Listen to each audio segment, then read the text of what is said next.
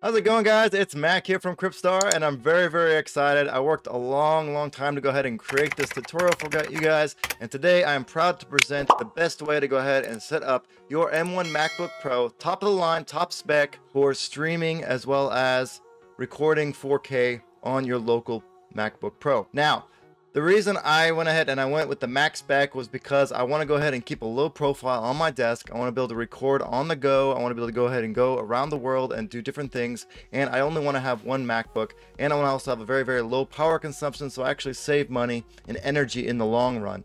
So this setup actually takes away all of the hardware requirements for a a hardware based encoder. You can just do everything from OBS, makes things very simple, very smooth. However, these settings are not well known and it's very hard to go ahead and figure this out because there's not a lot of tutorials on the web for this. In this video, I'm to walk you guys through both the container format, all of like the inner settings that you need for OBS to go ahead and set this up. Right now, I'm actually recording and streaming at the same time on a private stream and I'm going to show you guys what that looks like here you guys can actually see dual me. I'm actually recording and streaming at the same time. Now there is a slight audio delay and I'll show you guys how to make sure that you don't have that audio delay. It, it's pretty much a set number. I've, I've noticed this number works perfectly to go ahead and sync your audio and video so that way when you're streaming or when you're recording you never have that lag. This does depend on the camera that you're using. I'm using a Sony a6400 as well as the Elgato 4K Cam Link and I have two of those. One is going to my PC for my game streaming, and one is going to my camera for my web camera, like you see here. Okay. Now, let's go ahead and head into the settings here for the OBS, and I'll show you guys some matrix looking stuff here. Woo! Look at that. All right, so you can see here I have my whole OBS setup. This is my personal setup, okay? I'm not going to walk you guys through my scene setup. It's, it's quite complicated, so I'm going to go ahead and just walk you guys first through the OBS settings. So what you want to do is you want to go over here to OBS, and you can't quite see it on my screen, but if you go ahead and go up here, you can go to OBS, you'll see it on the top left-hand corner. Go to Preferences, and then your preferences will pop up here. First thing you want to do, and since I'm recording right now, this is kind of difficult to do, but you're going to go to Video, and you're going to go to the base canvas resolution, and I changed that to 4K because the base canvas resolution when you're recording it normally you want to use 4k so make sure you just go ahead and change that aspect ratio to 16.9 and 4k which is 3840 by 2168 2160 pixels okay? Now when you're streaming you actually want to go ahead and use this output scaled resolution to 2560 by 14440 okay? And use the downscale filter of bicubic sharpening scaling 16 samples there's another setting on the very bottom that has like, I think 32 samples. It's like Lysenol or something like that. But I wouldn't use that just because it doesn't uh, work very well when I'm streaming. So I just use this one. It works fine. Okay, and also you want to make sure you use the common FPS values of 30, especially if you're just doing normal YouTube content creation. I wouldn't worry so much about high FPS, even for gaming. That's actually mostly for when you're shooting personally. So when people are watching, I don't think FPS is a super big factor because your, your human eye can't catch up to it anyways. It's mostly for when you need millisecond reaction time when you're playing video games. And I believe that the Cam Link also has an input limitation of uh, what do you call it 30 fps when you're going ahead and taking it from your camera to the computer itself and when you do this, also make sure that you use a direct connection using the CamLink Pro. Pro. Do not use a hub in the middle. You need to connect directly the CamLink 4K to your computer directly. I use a little USB dongle. It's about this long. I'm not going to take it off right now because I'm using it, but it's about this long. You can buy it on Amazon for about $6. Okay, so these are the, the settings you want for right now. This is for live streaming when you're recording locally, which I'm actually doing right now, but I'm also live streaming, which is pretty amazing. You can do both at once with the quality that I have going on right now. You want to change the output to actually the same as this canvas resolution, and then you'll actually be saving it as a 4K video. Now comes the next part, which is very, very important. You want to head over to output and let's go ahead and go over the streaming settings first. here you want to go ahead and make sure you use the encoder, the Apple VTH264 hardware encoder. Now sometimes this doesn't show up if you have an M1 Mac.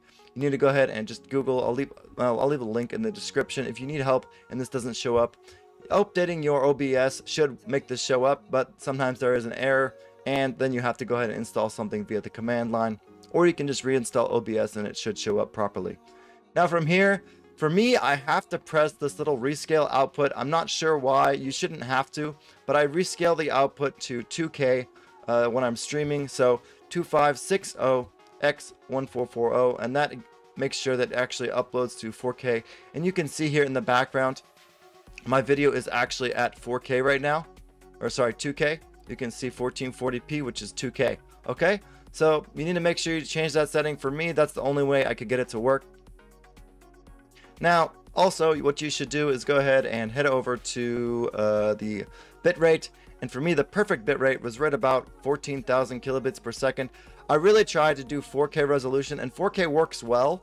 Uh, it works okay, but you're gonna have some stuttering on the and buffering on the client end. So when people are watching, there's a possibility that there's an audio lag or a video lag for your end viewer. So I would go ahead and just do 2K instead of 4K. It's very difficult to get 4K to work properly.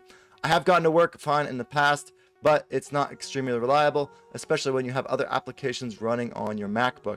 Now, this streaming, everything I'm talking about right now is basically assuming that you're not running Final Cut Pro or any other hardware intensive applications on your MacBook at the time. So when you're streaming, make sure you close all applications. The only application I have running right now, I think is Discord and OBS as well as Brave browser. So just make sure that you don't have a whole bunch of applications open because this won't work uh, if you have a lot of applications open because it it is just a laptop. It's not a really great GPU. It is amazing GPU for the price, for the power consumption, but it is still just a laptop. Remember that this is not a GTX 3090 uh, video card. Okay, now let's head over to here keyframe interval and I press change that to two I used auto and that seems to have some stuttering, okay? So just make sure that when you go ahead and set up your keyframe interval, I'll set it to 2, it seems to work the best, and set the profile to high. This makes sure that your, your stream looks as nice as possible. Now from there, let's go ahead and go into the recording settings. From here, this part is very, very important uh, for recording. Again, I go ahead and I change the recording settings to uh, custom output FFmpeg, okay? You can go ahead and do the simple output, but it doesn't work quite as well. There's a lot of fine tuning you should do in order to make sure that you can get the best possible output for your video. From here, you want to go ahead and change the container format to Matroska. That is MKV format. There are some other uh, MKV formats which uh, are here, but I prefer to use this Matroska one. This is the basic one. In the simple settings, this is actually MKV. In the advanced settings, it says Matroska. Okay. And Muxer settings, I don't think you need to actually do any Muxer settings in here. Now for the video bitrate, I use uh, 10,000 kilobits per second. This seems to work very well for 4K output. Okay, and you don't need to rescale the output for this as well. It works fine without rescaling, especially if you change the video to the 3840 by 2160. Now, let's head down to the video encoder and the audio encoder. This part is very, very important because when you're using Final Cut Pro, uh, you want to make sure it works very seamlessly and you can just go ahead and import into Final Cut Pro very easily. So what I do is I use the video encoder H264. This will increase the stability of your video when recording so there's no stuttering and that it looks really nice. And to make sure that you're using the hardware encoder rather than the software encoder. So H264 Video Toolbox is the recommendation for this, okay? Anything else will not work very well, okay? I used, I tried this HVAC C Video Toolbox, this didn't work. I think this is just audio, so just make sure you use the H26 video encoder. Now for the video encoder settings, uh, you don't need anything for that. For the audio bitrate, use 320 kilobits per second. This seems to work very well. I use two audio tracks, one for my desktop and one for my uh, for my audio here, my Shure microphone. And my audio codec, I use AAC, which is the default, but actually sometimes it sets it to a default of something else uh, that didn't work at all with my Final Cut Pro and I had to like export the video and it was kind of a pain in the butt. So I recommend just making sure you set this to AAC to begin with and that works fine with Final Cut Pro.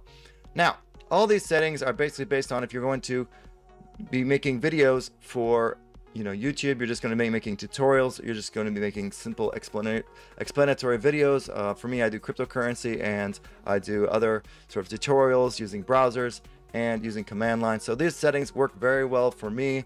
I can have very high quality video 4k video output and I don't have to have any worry about any audio issues there's one more setting that is very, very important to make sure you don't have any audio latency. Now check that out. We're in the matrix. Woo! I love that. Anyways, you want to make sure you go to here. Uh, you want to right click on your microphone, advanced audio properties, and it seems like the sweet spot for the sync offset is 320 milliseconds if you're using the Camlink 4K, which I highly recommend. I'll go ahead and leave a link for the Camlink in the description. It works really well. If you want to have 4K everything, it seems to work amazingly. Also, it works very well for 2K streaming and 4K streaming. Now, like I mentioned earlier, I'm just going to go back. You can do 4K streaming. Uh, it is possible. Just make sure you have no other applications open. You basically have one or two browser tabs open and you're not doing any any hardware intensive uh, work at the time. Make sure, of course, Final Cut Pro is closed. Then you can change the output scaled resolution to 3840 by 2160.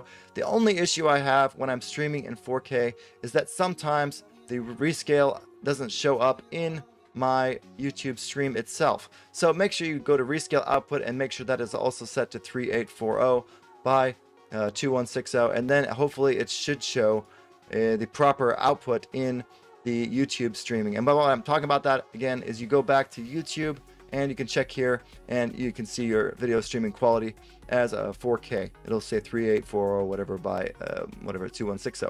Okay, right now I'm set to this and it seems to work flawlessly. You can see it's very, very beautiful uh, streaming quality.